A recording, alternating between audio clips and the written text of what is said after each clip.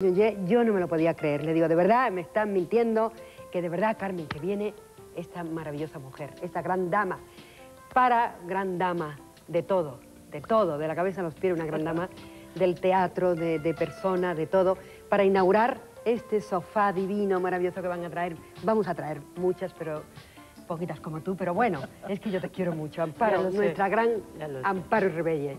Muchas gracias, nuestra querida Amparo, y de verdad, pues no sé, eh, eh, por aceptar ser invitada de nosotros, ¿verdad, Agustín? No, al contrario, quiero daros yo las gracias por haberme invitado, porque empezando por ti, es difícil estar rodeada de tanto arte, ¿eh? Sí, es verdad, sí, Nati Cañada hay que ver, vaya, vaya retrato, ¿eh? Sí, sí, bonito, bonito. Bonito. Pero yo que quiero que nos cuenten cositas de Claro que sí, hablando de arte, Amparo, pararte el tuyo.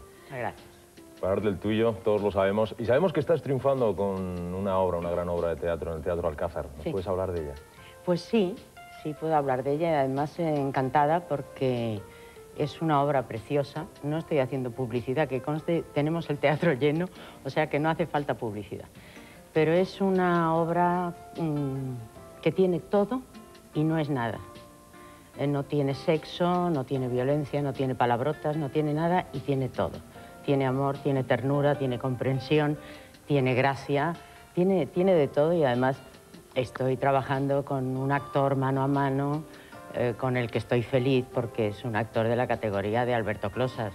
Bueno, bueno. ¿Tú ya lo conoces? Alberto Closa, ¿qué me ah. vas a decir? Alberto Closa, para nosotros, yo creo para todos los españoles, para todas las actrices, es un lujo de verdad también trabajar con él. Yo me acuerdo cuando hice La fierecilla domada, pues anécdota como la que me estabas contando que no es tolerada, pero nos hemos enterado todos aquí de los que nos acordamos. Y a mí me gustaría, si tú, como tú lo ves, todo lo ves todos los días, y yo ya he visto también la función y eso, pero si Dios quiere, Alberto de mi vida, de mi arma, vente un día aquí con nosotros, vente aquí un día con nosotros que, para que nos haga lo que hacemos, la sesión de, ¿Del hombre? Del hombre modelo, el hombre modelo que que hace petit pois, él no hace petit pois. ya no. Ah, ya no, ya no hace nada. qué hace, nada, Bueno, demasiado que hace trabajo maravilloso. El vago, no. no hace el vago, no sale de escena en todo el tiempo, le pasa lo que a mí, no tenemos tiempo ni de petit pois, ni de grand pois, nada. nada. qué tenemos tiempo de nada. Qué graciosa, qué bonita, qué maravillosa. No me extraña el éxito que tenéis, que yo sé que hoy ya no tenéis el cartelito ya de no hay localidades. No hay localidades. Eso Afortunadamente casi todos los días. y eso en unos tiempos en que el teatro no está muy bollante, es, es un triunfo. Bueno, la verdad es que yo te preguntaría muchas cosas, pero si nos dan tiempo, nuestro querido director nos da tiempo de preguntarle un poquitito, bueno, mm, yo sé que tienes una hija maravillosa, eh, que tienes un nieto precioso, ¿qué te falta hacer en esta vida? Porque Dios te ha dado, gracias a Dios, todo. Belleza, bondad, mm, talento, eh, cariño del público y una hija, un nieto. Dicen que, que, en la vida hay que hacer tres cosas, que es mm, tener un hijo, plantar un árbol y escribir un libro. Yo lo del libro mm, es lo que me falta y creo que me seguirá faltando, pero yo ya he cumplido con dos por lo menos. He plantado un árbol, mejor dicho varios, y he tenido una hija maravillosa que la sigo teniendo, gracias a Dios. Gracias a Dios. Y recuerdos, Amparo, tendrás muchísimos. ¿Tu mejor recuerdo teatral?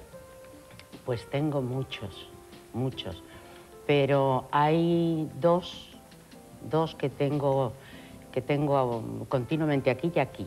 Uno de ellos, y no es por dar coba al director del programa, fue la noche del estreno de Hay que deshacer la casa, de Sebastián Qué bella. Que fue un estreno increíble.